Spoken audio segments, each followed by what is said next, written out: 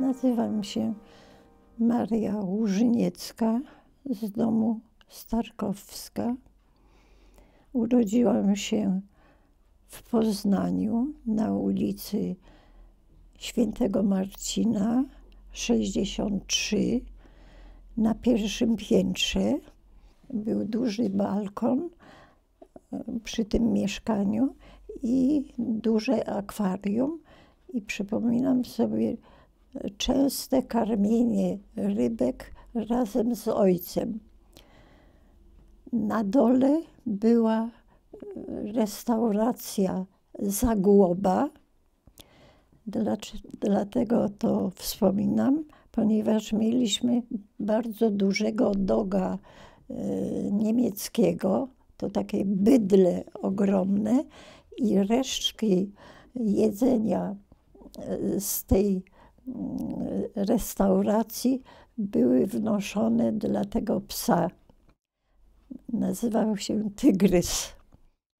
Potężne bydle, ponieważ mój ojciec zajmował się i bardzo lubił kajakarstwo, to ten pies nie mieścił się do kajaku, tylko biegł zawsze brzegiem, bo wszystkie e, rzeki większe i ciekawsze były przez mego ojca pływane i właśnie zawsze ten tygrys e, nam towarzyszył. Ostatnie ślady to były w mojej pamięci takie, które ja mm, po prostu sobie przypominam. Pierwsze to było w naszym mieszkaniu, tam na piętrze, właśnie e, świętego, na ulicy Świętego Marcina, stół i e, cztery krzesła i tam co tydzień były e, spotkania brydżowe. Wiem, że mama przygotowywała tam herbatę, kawę i prawda, w międzyczasie. I to pamiętam, że tych czterech e, panów zawsze się spotykało do późnych godzin wieczornych. Właśnie mm, grali. Z ojcem karmiłam te rybki w tym dużym akwarium, które było na balkonie mieszkaniu. Przypomina mi się w mundurze mój ojciec, brany, jeszcze taka menażka, tu się tak, to zapamiętałam, tak się kołysała. I był u moich dziadków, to znaczy rodziców mojej mamy.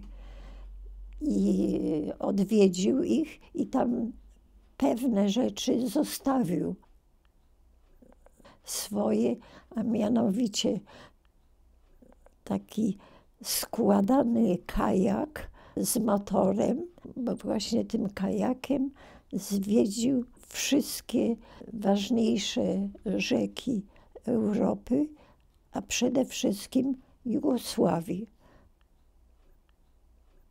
Jak się zaczęła e, wojna, druga wojna światowa i losy nasze się rozeszły. To znaczy, mój ojciec został powołany do wojska e, jako rezerwista i skierowany na wschód e, do obrony e, Polski przed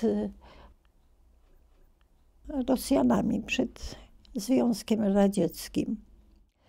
Gestapo załomotało do drzwi. Stanął taki wysoki w mundurze Niemiec i patrząc na zegarek, w 15 minutach proszę się spakować. Można wziąć tylko jedną walizkę i e, prawda, dzieci e, ze sobą. Nic więcej. Mama poprosiła tego Niemca, żeby mogła wziąć wózek dziecięcy. Tu położyła tą walizkę i w 15 minutach zawieziono nas do tego obozu przejściowego na e, ulicy Głównej i tam byliśmy kilka, kilka tygodni. I jeden z tych panów, który chodził właśnie na tego brydża, postarał się, że mama i siostra i ja nie zostaliśmy wysiedleni do Niemiec i rozdzieleni dzieci gdzie indziej, mama na roboty, tylko postarał się, żebyśmy wsiedli do wagonów bydlęcych, bo to takie były e, właśnie dla tych wysiedleńców, nie tylko nas, ale szereg inteligencji e, e, poznańskiej było w takich całych pociągach upchane właśnie w tych, e, w tych wagonach. Nieogrzewane oczywiście, bez, bez picia, bez jedzenia, bez niczego. I zawieziono nas do GG pod Częstochowę, pod Radomsko i to wysiedlenie wy, wyglądało w ten sposób, że na każdej stacji PKP stali Polacy, tam gdzie się zatrzymywał ten pociąg i wybierali y, ludzi, którzy im byli potrzebni czy do warsztatów, no, do pracy, dając e, w zamian mieszkanie i jedzenie.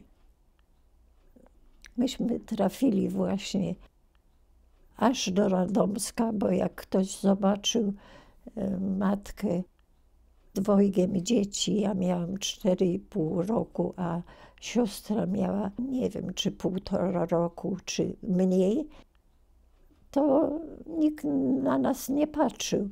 Dopiero tam stała taka jedna z pań arystokratów z GG i z proboszczem właśnie tam poszeptali sobie. W każdym razie ta pani wzięła nas do swego majątku z Tobiecka Szlacheckiego.